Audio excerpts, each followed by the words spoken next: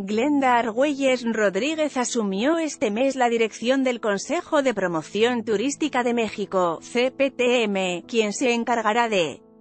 la desaparición del organismo en los próximos meses, informó la Secretaría de Turismo.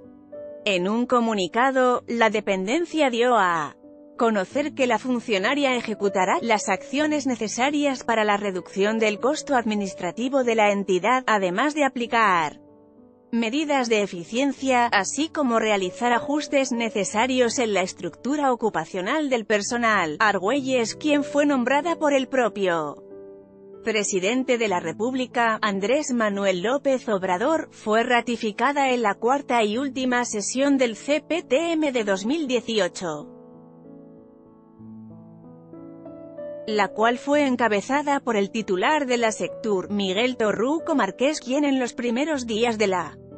presente administración confirmó la desaparición del organismo de promoción turística, la Junta de Gobierno también autorizó a la Dirección General del Consejo para que proceda con las gestiones legales administrativas, financieras y presupuestales conducentes para el cierre y desincorporación de las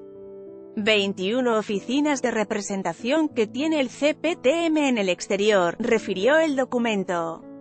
De acuerdo con la Sectur, la desaparición del organismo encargado de la promoción de los destinos nacionales ocurrirá a mediados de año, una vez que el CPTM haya cumplido con compromisos pendientes como son la asistencia de México a la Feria Internacional de Turismo, FITUR 2019